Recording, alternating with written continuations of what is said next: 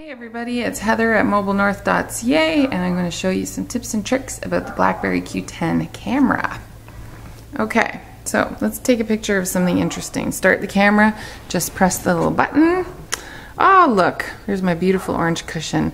Now, instead of pressing the little ball or anything else, all I have to do is press the screen, there, get a picture. Okay, you can see I have different options for aspect ratio. I've got 16 by 9, 4 by 3, and 1 to 1.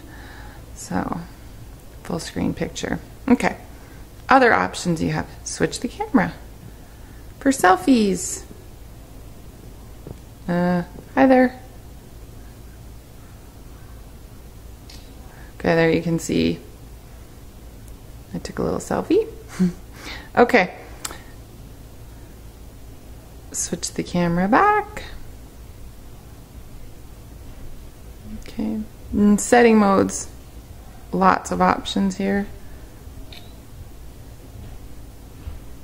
Good stabilization, burst, which is several in a row,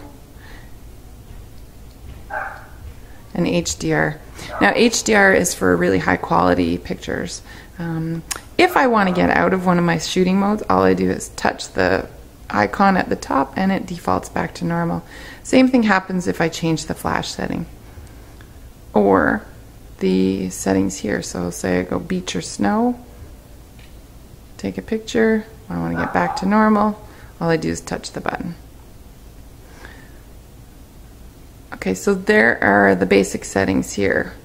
Let's look at the video camera really briefly.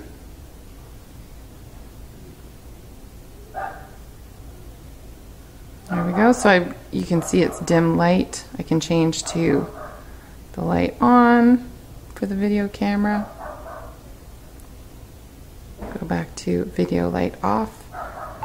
Okay, so my options here, I have a few settings for the video camera as well, stabilization, um, normal,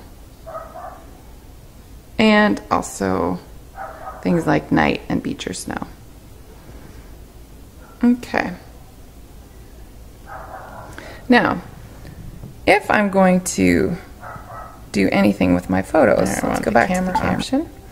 If I want to edit my photos, I have a few choices here.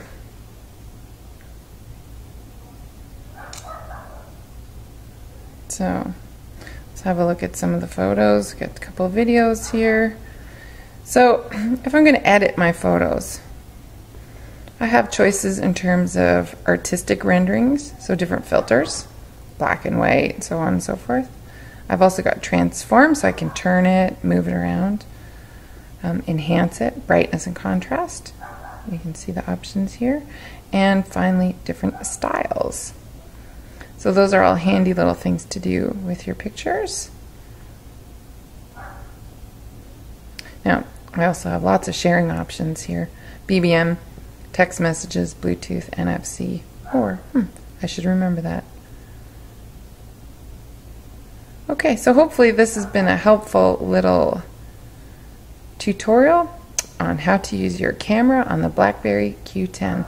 For more information about your Q10, check out the website mobilenorth.ca.